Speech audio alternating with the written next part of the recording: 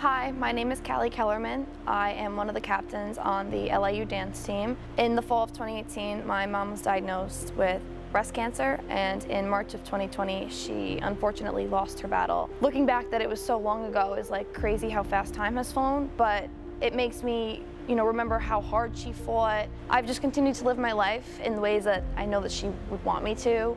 She would want me to go to college. She, she, she did want me to go to college. We talked about that. We talked about me being on a D1 dance team, and here I am as the head captain of a D1 dance team as a junior. Having that in the back of my mind and like her voice telling me things like the cream rises to the top, like just, you know, people that work hard get rewarded, like things like that, like definitely motivate me to continue to do the things that I do today. It makes me wonder when I see people wearing pink around campus, like do they have somebody that they lost to breast cancer? Do they have somebody that's battling breast cancer? I would tell that person to be the light in that person's life and to be the good with during the bad time to help them stay positive and move forward and continue to fight. No one fights cancer alone. There is an army of men and women that are there to support. This month is a month of strength, a month of support, a month of love. As everyone says, like their mom is like their best friend. Like she was really my best friend. So it is important for me to continue sharing her story, continuing to talk about breast cancer and bringing awareness to it,